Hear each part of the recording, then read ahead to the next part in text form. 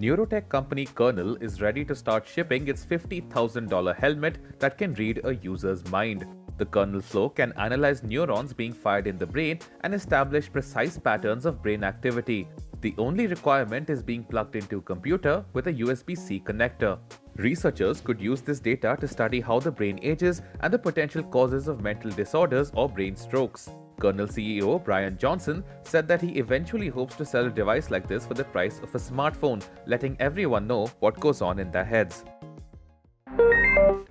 The highly anticipated Battlegrounds Mobile India launched in early access beta for a limited number of users. The slots were quickly filled up and the beta registration link says it is not accepting more testers.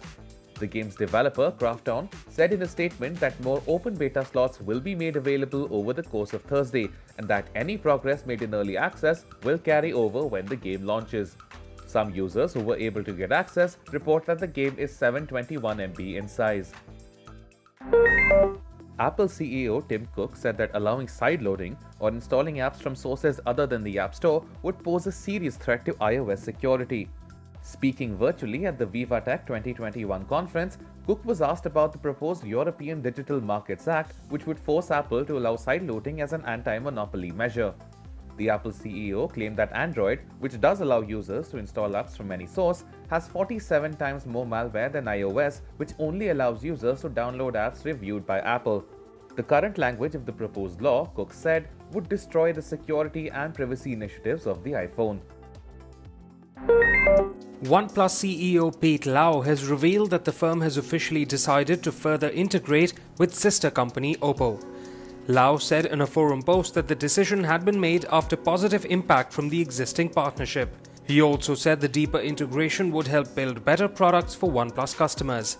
It's worth noting that both OnePlus and Oppo are owned by Chinese conglomerate BBK Electronics that also owns other smartphone makers like Vivo and Realme. Realme has confirmed that the 4G and 5G editions of their Narzo 30 smartphone will launch in India on June 24th. Launched earlier in Malaysia, the Realme Narzo 30 is powered by the MediaTek Helio G95 and features a 6.5-inch Full HD Plus IPS display with a 90Hz refresh rate. It sports a 48 megapixel triple rear camera setup along with a 5000 mAh battery and 30 watt fast charging.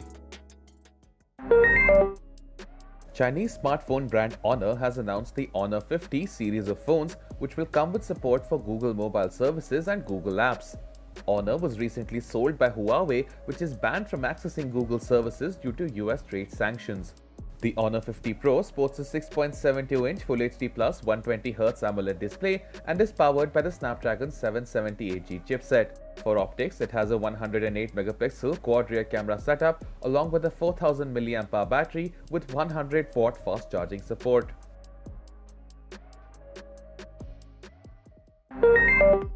A statement provided by Qualcomm to XDA developers has confirmed that older smartwatches and wearables running Qualcomm chipsets can be upgraded to the new Wear OS 3.0. Announced at Google I/O 2021 in collaboration with Samsung, the new Wear OS can theoretically run on any device with the Snapdragon 3100 or Snapdragon 4100 or 4100 Plus chipset. However, smartwatch manufacturers will decide if they want to provide the update to existing products or if users will have to buy a new device to enjoy the new Wear OS. Music streaming service Spotify has launched a live audio app called Green Room, likely in a bid to compete with the current popularity of Clubhouse.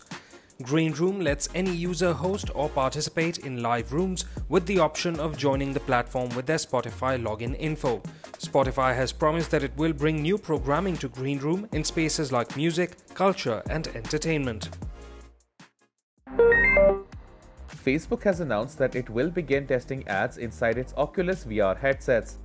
Facebook says it aims to help developers earn revenue on the Oculus platform and create a self-sustaining platform that can support a variety of business models. Ads will begin to appear in Blaston, an action game developed by Resolution Games, and other games over the coming weeks. Users will be able to hide individual ads or choose not to see ads from a particular advertiser.